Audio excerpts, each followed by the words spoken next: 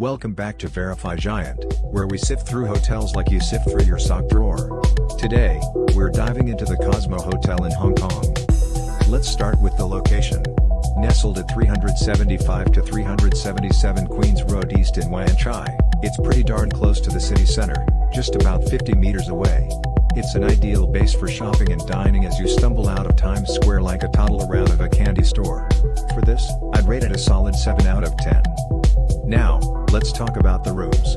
Some reviews gush about the cozy ambience, while others claim the decor is stuck in a time warp, like your Aunt Mabel's living room from the 70s. So, based on mixed reviews, I'd give room quality a 5 out of 10. Amenities?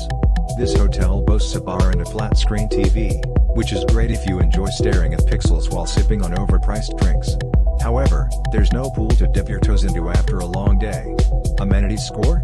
A disappointing 4 out of 10. Now, food. Guests rave about the free breakfast box, but if I'm being honest, what's in that box? A sad piece of toast and a jelly packet?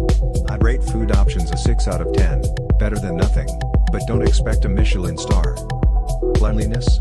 Most reviews highlight how tidy the place is, which is essential. Nobody wants to find someone else's sock under the bed. Cleanliness earns a respectable 8 out of 10. Wi-Fi and connectivity? Free and reliable. That's like finding a unicorn in the wild. Score, 9 out of 10. And how about the staff? Delightful and helpful, like a friendly ghost who actually enjoys doing their job. Staff friendliness? Definitely an 8 out of 10. Let's add it up.